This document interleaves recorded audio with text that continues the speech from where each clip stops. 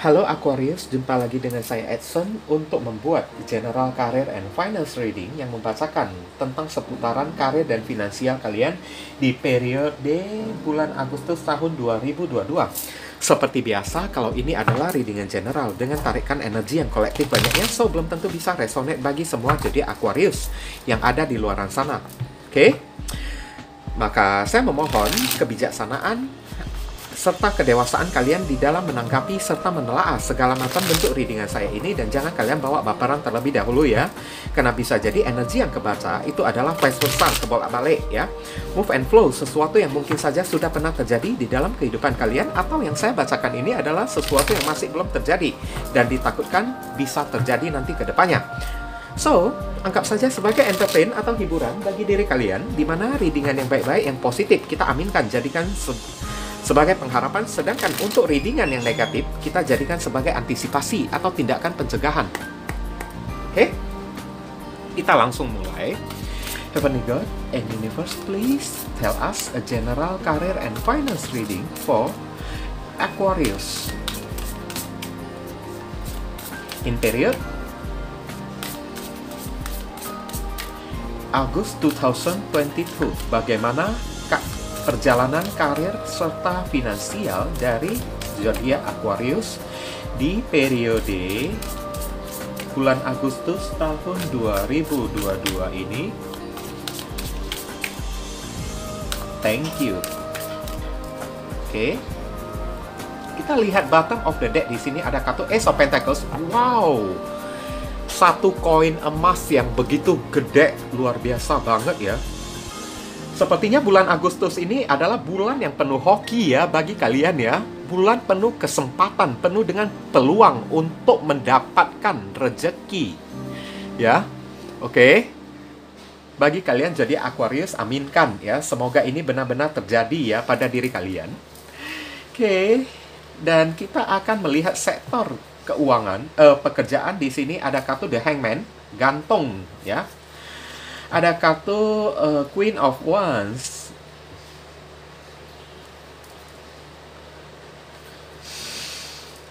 Sepertinya ada sesuatu yang kalian pertimbangkan ya, saya lihat ya, sebelum kalian membuat sebuah keputusan ya.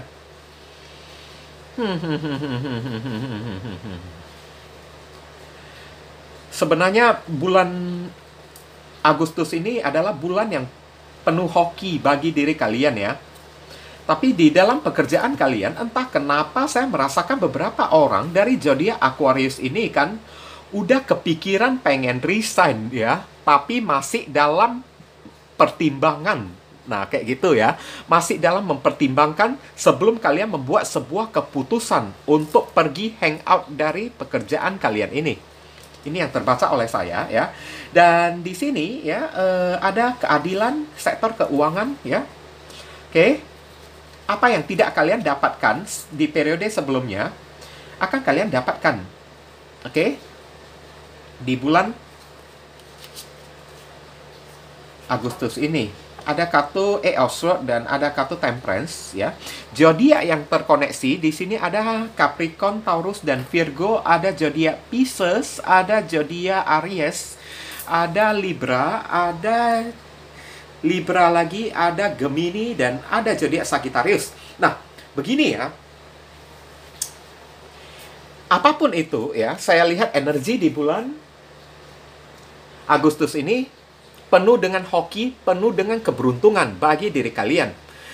Oke, sebenarnya bagi kalian zodiak Aquarius, saya merasakan ya, kalian akan mendapatkan cuan yang jauh lebih banyak dibandingkan periode sebelumnya.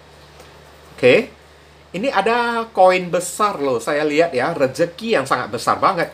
Jadi jangan sampai kalian salah membuat sebuah keputusan yang ujung-ujungnya keputusan kalian itu hanya akan menutupi rezeki kalian yang seharusnya kalian dapatkan selama ini ya. Oke?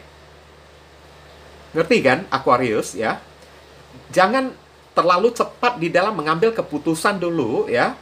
Apa pun itu kalian disuruh tahan dulu lah ya. Dan memang terlihat dari sektor pekerjaan ya ada kartu the hangman ya. Beberapa orang dari zodiak Aquarius ini kan kayaknya merasa pekerjaan kalian ini kok unworth lah ya. Unworth kayak makin lama kok kayaknya makin nggak jelas pekerjaan kalian ini kan entah apa saja yang dilakukan kan.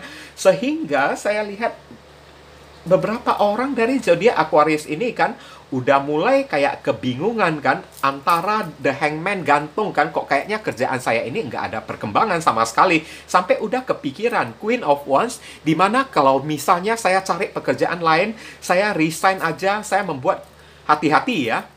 Kalau ada memang kalau memang itu yang menjadi pola pikiran kalian atau mindset kalian jadi Aquarius kalian disuruh tahan terlebih dahulu ya tahan dulu stop tahan dulu ya. Takutnya kalian ini membuat kesalahan yang fatal. Oke? Okay? Takutnya kalian ini membuat kesalahan yang fatal.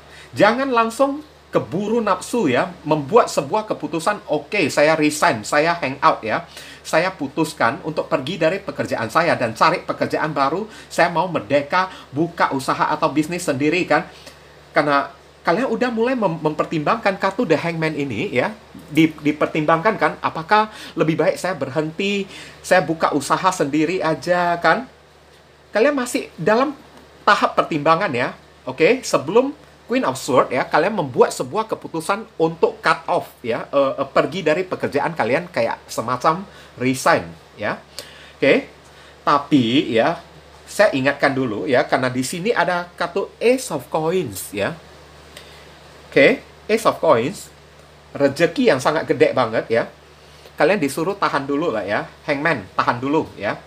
Jangan membuat keputusan yang terlalu cepat ya. Takutnya ya, siklus di bulan Agustus ini penuh dengan hoki, penuh dengan rezeki bagi diri kalian. Nanti ya, kalau terlalu cepat keputusan itu kalian buat, berujung jadi bumerang bagi diri kalian sendiri. Kalian yang pah pahit sendiri ujung-ujungnya ya. Oke. Okay? Kayak gitulah ya. Ditahan dulu ya. Oke.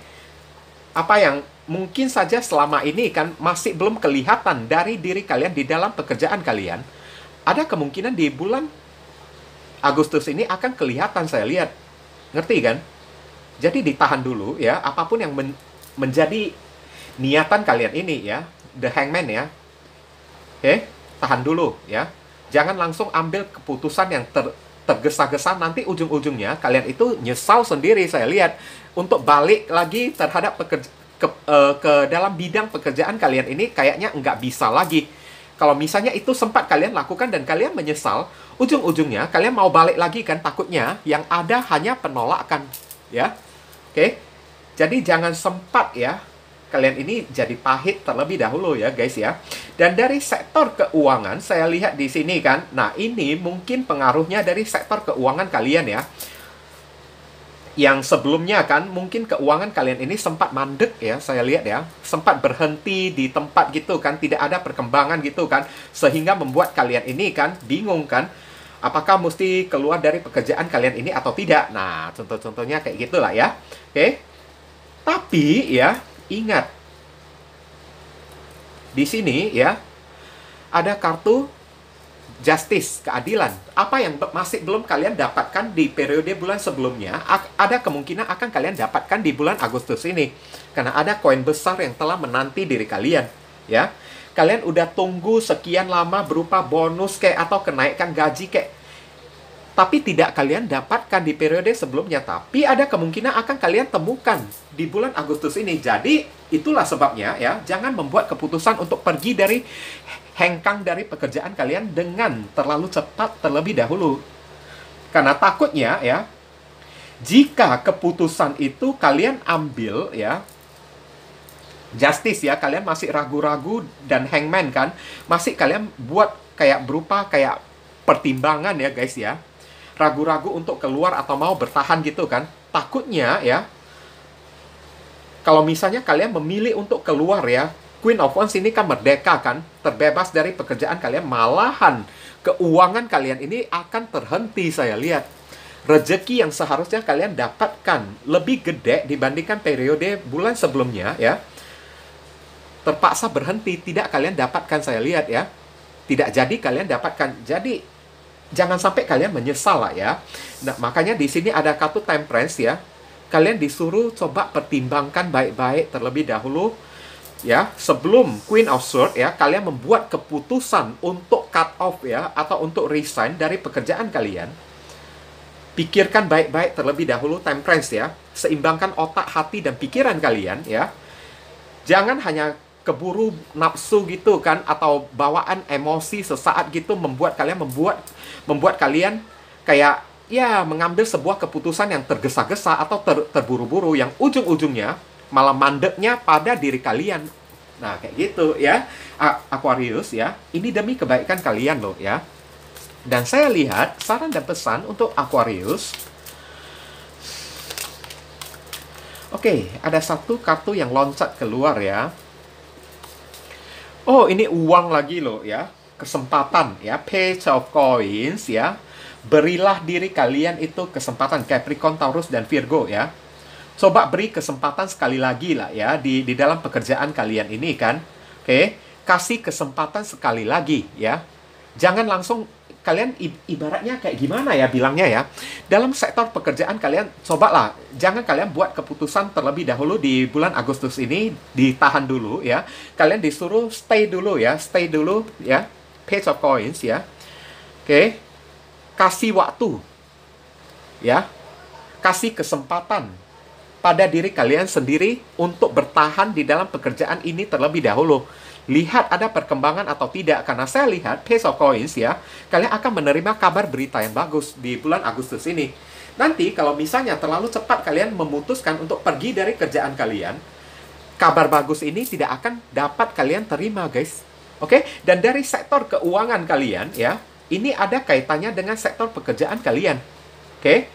di mana ya, saya lihat kan ada akan ada peningkatan meskipun ya peningkatan uang tersebut ini mungkin tidak banyak ya sedikit demi sedikit kan atau kayak orang yang menaiki tangga se, se, se, setapak demi setapak gitu kan guys kan tapi ada kalian dapatkan berupa bonus ya oke okay? Kalau kalian memilih untuk bertahan temperance ya jadi kasih kesempatan lah ya. Jangan ter, terlalu ter, terburu-buru ambil sebuah keputusan kan. Hanya karena ego sesaat kayak kan karena emosi yang sesaat gitu kan kesal kan kalian ini kan. Jangan kayak gitu ya. Nanti kalian kehilangan peluang ini kesempatan ini tidak akan kalian dapatkan ya Mungkin itu saja sih yang bisa saya sampaikan untuk diri kalian Aquarius ya. Berhubung karena ini adalah readingan general, jadi penyampaian saya mungkin agak simpel dan seadanya. Untuk penyampaian yang lebih mendetail dan lebih spesifik ke energi kalian sendiri, saran saya langsung saja kalian lakukan personal reading dengan diri saya. Dan dari awal sampai sekarang, saya tidak mengatakan kalau readingan saya ini bisa resonate sepenuhnya ya bagi kalian Aquarius ya. Itulah sebabnya kenapa saya selalu menghimbau kepada orang-orang lakukan aja personal reading dengan diri saya supaya energi yang kebaca langsung ketarik pada energi satu orang si penanya itu aja. Bukan kepada energi banyak orang kayak gini. Ingat ya, jadi Aquarius itu jutaan orang di luar sana dengan energi masalah yang berbeda, problema yang berbeda, nasib yang berbeda, takdir juga berbeda-beda kan. Jadi belum tentu yang saya bacakan ini adalah Aquariusnya kalian ya. Ngerti kan? Dan jangan lupa banyak berdoa di sana. Jadi Aquarius, di sini saya selalu mendoakan yang terbaik bagi diri kalian semua. Kita sama-sama saling mendoakan satu sama lain uh, ya. Uh, akhir kata saya ingin tutup dulu lah ya uh, readingan saya ini dan undur diri dulu. I see you again very soon on the next video. Salam cerah penuh kedamaian. Sadu sadu sadu